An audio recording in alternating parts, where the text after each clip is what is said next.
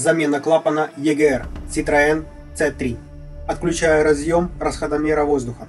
Отсоединяю электрическую гофру. Откручиваем воздушный короб, используя головочку на 13.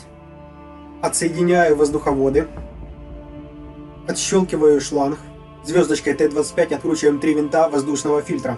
Отстегиваю защелку и снимаю крышку фильтра. Вытягиваю воздушный короб. С помощью звездочки на 27 откручиваю два винта, удерживающие клапан. Клапан плотно сидит на сальнике, из-за этого понадобится качающее движение вверх. Отключаю электрический коннектор и подключаю его уже на новый клапан. Обязательно смазываю маслом сальник на клапане и устанавливаю клапан на место. Закручиваю два винта, удерживающие клапан. И дальше все собираем в обратном порядке. Если видео было информативным, поставьте лайк и подпишитесь на мой канал.